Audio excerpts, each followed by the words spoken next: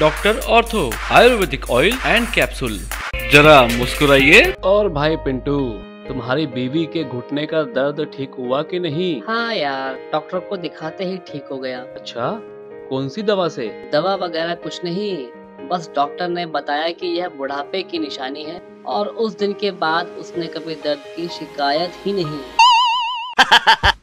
अच्छा लगा तो लाइक एंड शेयर ज़रूर करें।